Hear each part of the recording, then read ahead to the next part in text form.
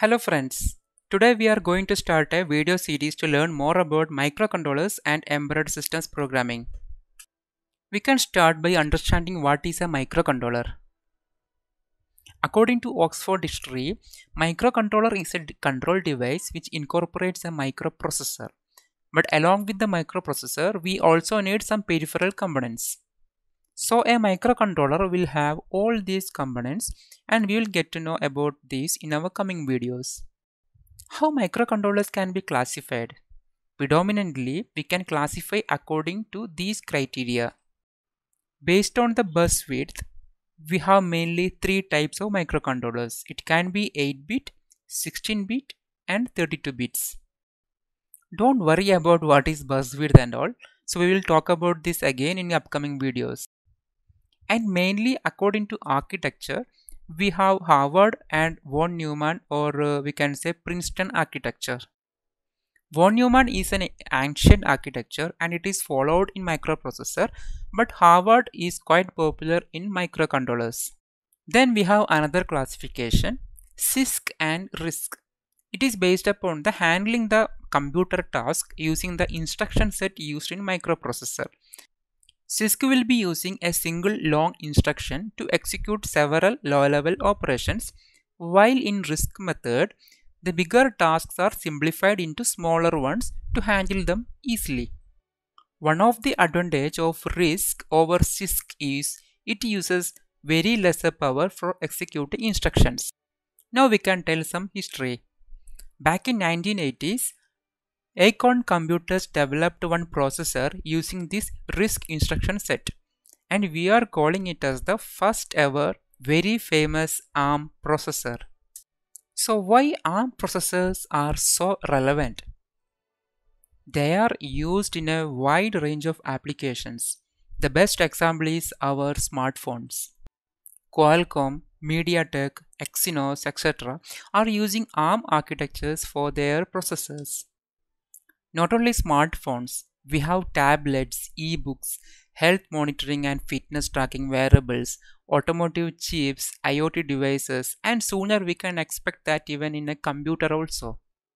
When I am recording this video, Apple has announced their M1 Ultra chip which is based upon ARM architecture. So we should know about the ARM processors, right? And we should know how it is programmed. Are you ready? Okay, good. There are three types of ARM processor mainly we can see in the market. First one is Cortex A. These are used for advanced operating systems like Linux and Android.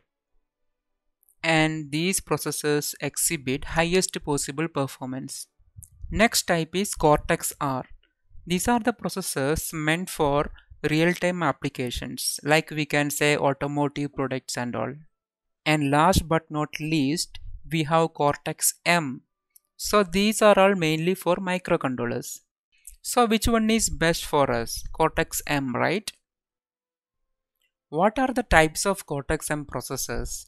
We have M0, M0 Plus, M3, M4 and M7 processors available in the market. Firstly, M0. So it has smaller silicon area, so it is one of the smallest ARM processor available. Its applications are in touchscreen controllers and uh, brushless uh, motor controllers, etc. Next one, M0 Plus processors. So it is highly energy efficient. It consumes very less power, so it is suitable for ultra low power applications such as IoT, wireless Bluetooth transceivers. M3 it is a standard 32-bit embedded processor. We can find them in smartwatches and activity trackers. The M4 processors are capable with DSP performance, so they are coming with floating point units.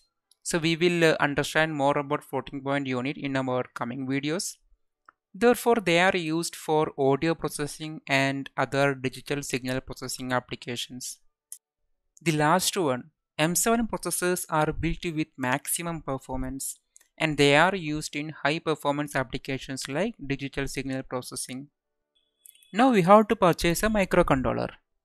So who are all manufacturing ARM based microcontrollers? Mainly we have TI, STMicro, Toshiba, NXP, Microchip, Broadcom, etc. According to our requirements and applications, we can choose the microcontroller manufactured by these companies. In the upcoming videos, we will try some hands-on projects with ARM-based microcontroller.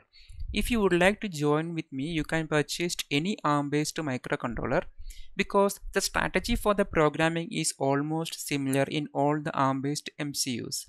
If you are purchasing a STM32 development board like Nucleo or Discovery, you can easily relate what I am demonstrating.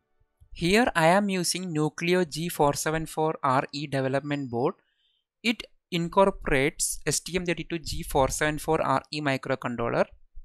It is a 32-bit ARM microcontroller, so it follows Harvard architecture and it has RISC instruction set. Here we will be using STM32Cube IDE in order to write and download our program into the development board or into the microcontroller.